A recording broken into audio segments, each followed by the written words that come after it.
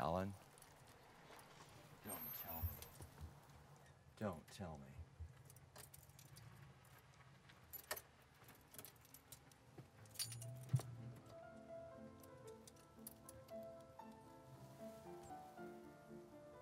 I don't think I've got the right keys. Alan, I came to get the RV.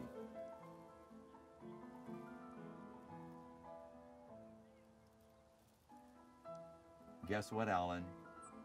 So where are the You can get off the property.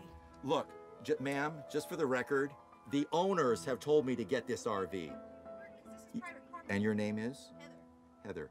Thank you, Heather. you're on private property. You should Okay. probably get out of the vehicle and go. Come on, Deuce. This dog bites. Come on.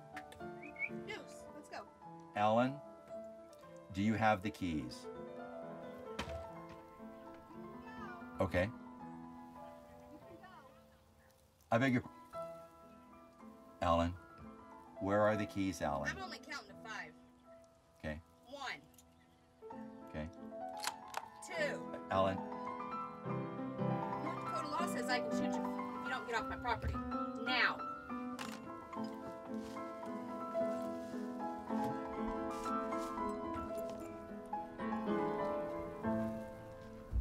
so for now, I'm going to try and get the key from him.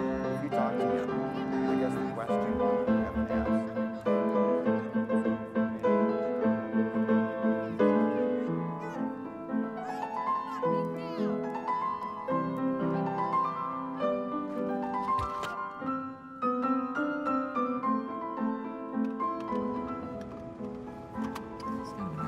neighborhood.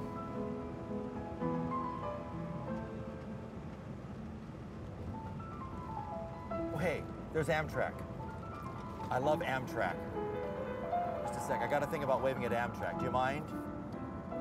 Just a sec. I always feel like you should wave at an Amtrak when it goes by. You guys want to jump out and wave? Here, real quick, shall we?